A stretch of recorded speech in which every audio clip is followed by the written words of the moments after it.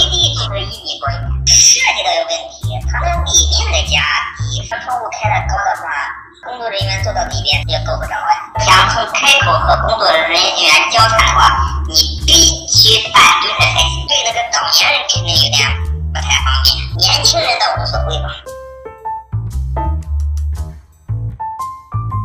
它是个临时彩色砖的，因为原来那是门卫房，现在紧急情况下它改建的。它是下台阶，套的高了，低点的也就够不见它了。我已经给领导打电话了，领导说明天看一看，怎样改进。